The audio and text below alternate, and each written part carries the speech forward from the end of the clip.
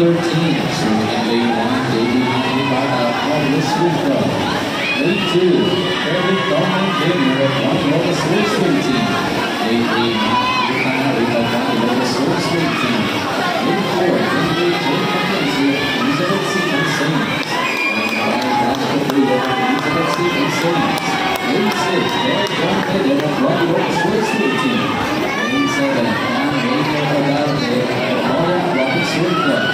Lane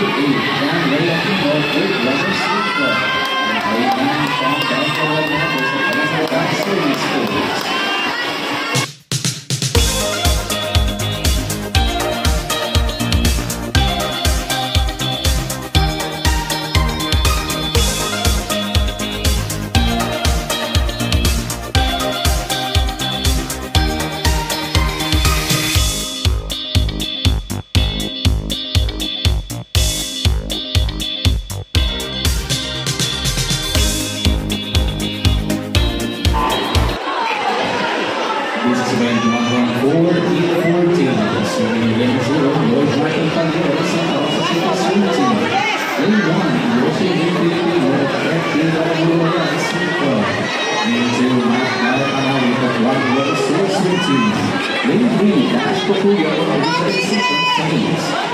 Lane 4, Joaquin Fuente de Castro of Elusa East Aquatic.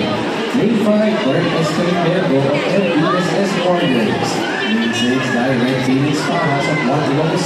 Team. Lane 7, Max Jacob of CM Riptide Team. Lane 8, Kenzie Santos of USF Vikings. And Lane 9, Alonzo Pangiliban of EA Seahawks.